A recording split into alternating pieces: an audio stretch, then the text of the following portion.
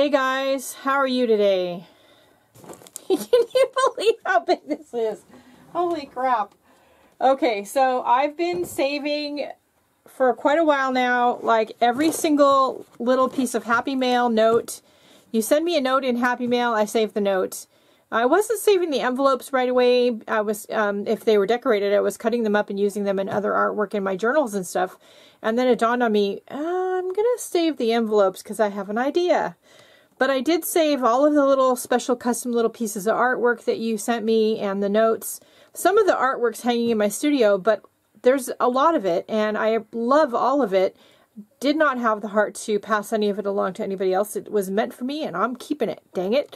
but I don't have enough wall space in my studio. I thought, what do I do with all this? My box that I stored in was like bulging. I made a journal. Look how fat it is. Can you believe that? Um, okay, so the spine is six and a half inches. oh my gosh. So this is 99% Happy Mail. It's probably 1% swap mail, mail art swap kind of mail, KIF swap, little notes and things like that.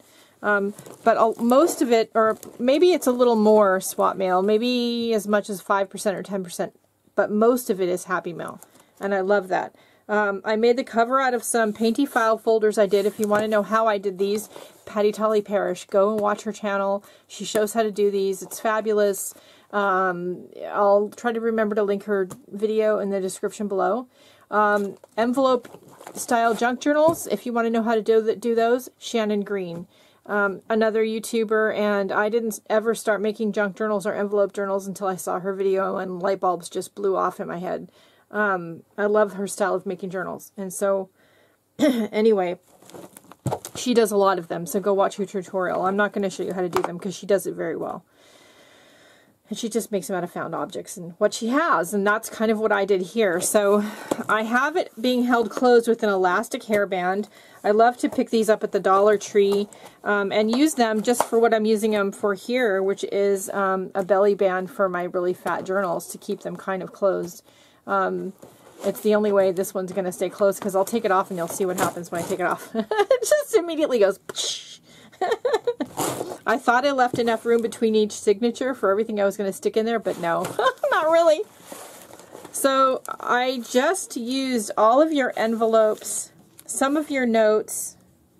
I'm going to be a little careful about turning the pages. In each of the envelopes, I made them into a pocket, and I that's from a Crazy Island family swap. Uh, I'm sorry, Journaling Crazy Island style um, swap that we did over in that class that I teach. Um, I put your notes in. I realized real quickly that some of you have sent me really cool um, paper clips. So I used the paper clips on some things um, to hold the little notes in. See, there's a pocket. Oh, yeah, it has something in it.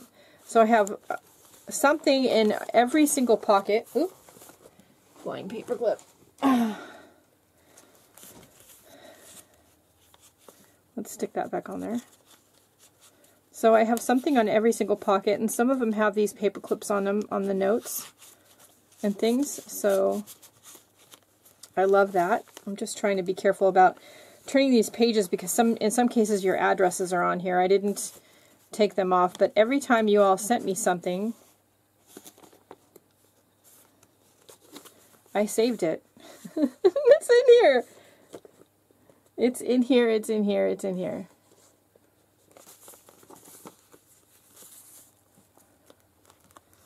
So I love I love this and it's huge and full and very stuffed. very very gigantic. It's just every pocket has, you know, something in it. There's I did uh, took a class with Minnie Murphy Lacefield a couple years ago now and as part of the class we did sort of a um, you know, we did a mail art swap, and this is one of the little ones that I got from somebody. Don't you love that? I have a couple of those in here. Um, they're fabulous. And so different little things like that. A paper clip one of you sent me that um, has this goldfish bowl on it, uh, you know, and I just, cards, and if you sent me your business card, I put that on there, and yeah, I, I love it. So thank you all for sending me so such wonderful things that I'm able to turn them into this fabulous journal. And I am going to put it out in the front living room with my other journals. They all live out in the front room for the public, anybody who comes over to see. And I love them. Somebody's texting me. Can you believe that? Probably asking me, are you watching football? No, I'm not watching football. it's Super Bowl Sunday, and I know I'm not watching football. All right. So if you have lots of swap mail or happy mail, mail from your arty friends, and you don't know what to do with it, make a junk journal. Make an envelope journal, a, basically a journal that's full of pockets that you can stick these things into. And I think that's a fabulous idea. I love it, and I'm going to go stick it out on my shelf. It's so fat. It just makes you want to laugh. Alright, that's it for today. If you'd like to support my free tutorials, free live broadcasts that I have every week, please think about shopping in my Etsy shop or hit the support button on my YouTube channel's main page. You have to be on a PC or in your browser to see the button. Um, and don't forget the most important thing. Go out and have a great day. Do something nice for yourself because you deserve it. I'll see you later. Thanks for the happy mail. Bye.